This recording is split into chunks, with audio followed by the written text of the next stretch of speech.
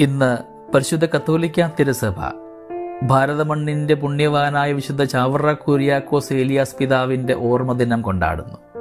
ചാവറ കുടുംബത്തിൽ കുര്യാക്കോസിന്റെയും മറിയത്തിന്റെയും മൂന്നാമത്തെ മകനായി ആയിരത്തി എണ്ണൂറ്റി അഞ്ച് ഫെബ്രുവരി മാസം പത്താം തീയതി കുര്യാക്കോസ് ഏലിയാസ് കൈനഗരിയിൽ ജനിച്ചു. ഭാരതത്തിന്റെ അപ്പസ്തോലനായ തോമാസ് ലീഹായിൽ നിന്നും വിശ്വാസം സ്വീകരിച്ചുവെന്ന് പറയപ്പെടുന്ന പകലോമറ്റം കുടുംബത്തിന്റെ ഒരു ശാഖയാണ് ചാവറ കുടുംബം മാമോദീസായിൽ കുര്യാക്കോസ് എന്നായിരുന്നു പേര്. എന്നാൽ അമ്മ കുഞ്ചാക്കോച്ചൻ എന്നാണ് വിളിച്ചിരുന്നത്.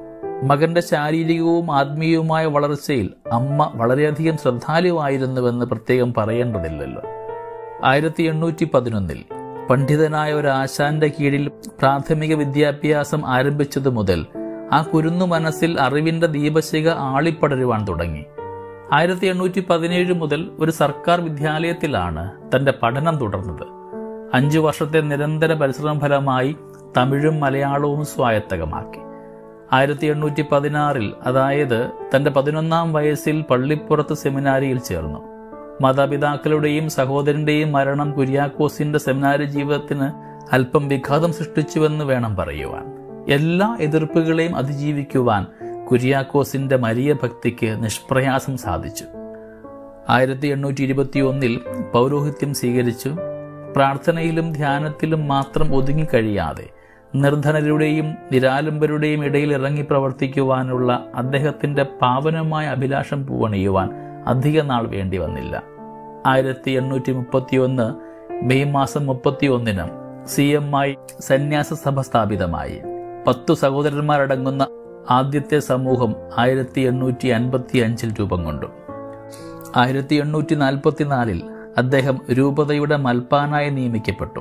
വിജ്ഞാനദാഹിയായ കുര്യാക്കോസ് അച്ഛൻ ഈ അവസരം പൂർണമായും ഉപയോഗിച്ചു. വിദ്യാഭ്യാസപരമായ അദ്ദേഹത്തിന്റെ പദ്ധതികൾ നടപ്പിലാക്കുവാൻ മൽപ്പാൻ സ്ഥാനം വലിയ സഹായമായി. ആയിരത്തി എണ്ണൂറ്റി നാൽപ്പത്തി ആറിൽ മാന്നാനത്ത് ക്രൈസ്തവർക്കായി ഒരു സംസ്കൃത വിദ്യാലയം സ്ഥാപിച്ചു. സംസ്കൃത ശ്ലോകങ്ങൾ വായിക്കുകയോ പഠിക്കുകയോ അബ്രാഹ്മണർക്ക് നിഷിദ്ധമായിരുന്ന ആ കാലത്ത് തികച്ചും വിപ്ലവാത്മകമായ ഒരു കാൽവെപ്പായിരുന്നു അത്. ആയിരത്തി എണ്ണൂറ്റി അറുപത്തി ഒന്നിൽ ചാവറയച്ചനെ പ്രത്യേക അധികാരം കൊടുത്ത് വികാരി ജനറലാക്കി മാറ്റി. കേരള സഭയെ ശീഷ്മയിൽ നിന്ന് രക്ഷിക്കുവാൻ ആ സ്ഥാനം കളമൊരുക്കുകയും ചെയ്തു. റോക്കോസ് പക്ഷക്കാരിൽ നിന്ന് അദ്ദേഹത്തിന് ഉപദ്രവങ്ങളുമുണ്ടായി. ജനറൽ അച്ഛൻ റോക്കോസിനെ കുറിച്ച് മാർപ്പാപ്പയ്ക്ക് കത്തെഴുതി. റോമിൽ നിന്നും അധികാരപ്പെടുത്തിയ ബെർണാർഡിൻ മെത്രാപോലിത്ത ആയിരത്തി എണ്ണൂറ്റി അറുപത്തി ഒന്ന് നവംബർ മൂന്നിന് റോക്കോസിനെ സ്ഥാനഭ്രഷ്ടനാക്കി. റോക്കോസ് ചീഷ്മയിൽപ്പെട്ടവർക്ക് അച്ഛൻ മാപ്പ് വാങ്ങിക്കൊടുത്തു. കേരള സുറിയാനി സഭയെ അങ്ങേയറ്റം സ്നേഹിക്കുകയും വിശ്വാസ വ്യതിചലനത്തിൽ നിന്ന് അതിനെ രക്ഷിക്കുകയും ചെയ്ത കർമ്മധീരനായ അച്ഛന്റെ സേവനങ്ങൾക്ക് നന്ദി പറഞ്ഞുകൊണ്ട് ഒൻപതാം പിയൂസ് മാർപ്പാപ്പ കത്തെഴുതി. ഓരോ ആശ്രമത്തോടനുബന്ധിച്ചും ഇംഗ്ലീഷ് പാഠശാലകൾ തുടങ്ങണമെന്ന് ആവശ്യപ്പെട്ടു. മാന്നാനത്തുള്ള സെന്റ് ജോസഫ് പ്രസിന്റെയും നസ്രാണി ദീപിക എന്നറിയപ്പെടുന്ന മലയാള ദീപിക ദിനപത്രത്തിന്റെയും പ്രാരംഭ ശില്പി അദ്ദേഹമായിരുന്നു. ആയിരത്തി എണ്ണൂറ്റി ഇരുപത്തി ഒൻപത് മുതൽ ആയിരത്തി എണ്ണൂറ്റി എഴുപത് വരെയുള്ള നളാഗമം അച്ഛൻ രചിച്ചു. സഭയുടെ ഡയറിയാണത്. ഈശോയുടെ ജനനം പ്രബോധനം മരണം മരണാനന്തര സംഭവങ്ങൾ എന്നിവ വിവരിക്കുന്ന പന്ത്രണ്ട് അധ്യായങ്ങൾ ഉൾക്കൊള്ളുന്നതാണ് അനുതാപം. റോക്കോ സിസ്മയുടെ കാലത്ത് വിശ്വാസികളെ ഉറപ്പിച്ചു നിർത്തുവാൻ വേണ്ടി രചിച്ചതാണ് അനസ്താസിയുടെ രക്തസാക്ഷിത്വം എന്ന ഖണ്ഡകാവ്യം. മരണ വീട്ടിൽ പാടുവാനുള്ള ഗീതം ലഘുകാവ്യമാണ്. നല്ലയപ്പന്റെ ചാവരുൾ മരണപ്രതികയ്ക്ക് മാതൃകയാണ്. ധ്യാന സല്ലാപങ്ങൾ ധ്യാന വിഷയങ്ങളിൽ രചിച്ചതാണ്. കൂടാതെ പ്രധാനപ്പെട്ടവയിൽ വൈദികരെ ഉദ്ദേശിച്ച് അഞ്ച് കുറിപ്പുകളുമുണ്ട്. ആയിരത്തി എണ്ണൂറ്റി അറുപത്തിനാലിൽ കുര്യാക്കോസ് അച്ഛൻ കൂനമ്മാവിലേക്ക് താമസം മാറി. വിവാഹം ഉപേക്ഷിച്ച് ജീവിക്കണമെന്ന് ആഗ്രഹിച്ച പതിനാല് വയസ്സായ അന്ന തെരേസയെയും പുനർവിവാഹത്തിന് താല്പര്യമില്ലാതിരുന്ന അവളുടെ അമ്മയായ എലിസബത്ത് വാഗയിലിനെയും കർമ്മലീത്ത നിഷ്പാതക മൂന്നാം സഭയിൽ ചേർക്കുന്നതിന് ലയോപോർദ് ഒ സി ഡി അച്ഛനോടൊത്ത് പ്രവർത്തിച്ചു.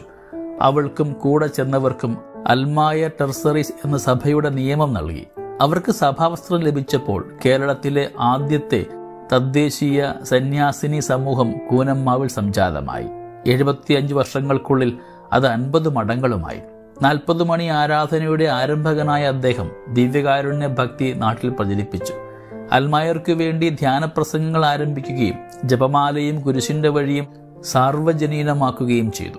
ദൈവമാതാവിനെ അമ്മയെന്നാണ് അദ്ദേഹം സംബോധന ചെയ്തിരുന്നത്. എളിമ അദ്ദേഹത്തിന്റെ ഗുണവിശേഷങ്ങളിൽ ഒന്ന് മാത്രം. മരണക്കിടക്കയുടെ അടുത്ത് നിന്നവരോട് പരസ്പരം സ്നേഹിക്കണമെന്നും പരിശുദ്ധ കുർബാനയിൽ ഈശോയെ സ്നേഹിക്കണമെന്നും തിരുക്കുടുംബത്തിന്റെ സംരക്ഷണം തേടണമെന്നും നിയമങ്ങൾ പാലിക്കണമെന്നും അദ്ദേഹം ഉപദേശിച്ചു. ആയിരത്തി എണ്ണൂറ്റി എഴുപത്തി ഒന്ന് ജനുവരി മാസം മൂന്നാം തീയതി കൂനമ്മാവിൽ വെച്ച് നിര്യാതനായ കുര്യാക്കോസ് ഏലിയാസച്ചന്റെ ഭൗതിക അവശിഷ്ടം മാന്നാനത്തേക്ക് മാറ്റപ്പെട്ടു.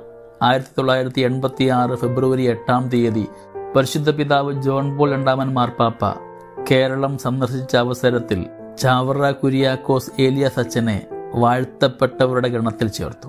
തുടർന്ന് രണ്ടായിരത്തി പതിനഞ്ച് നവംബർ മാസം ഇരുപത്തി മൂന്നിന് ഫ്രാൻസിസ് മാർപ്പാപ്പ അദ്ദേഹത്തെ വിശുദ്ധനായിട്ട് പ്രഖ്യാപിച്ചു. സ്നേഹമുള്ള അപ്പന്റെ നല്ല മക്കളായി നമ്മളൊക്കെ വളരണമെന്നാണ് ചാവറ പിതാവ് ആഗ്രഹിച്ചത്.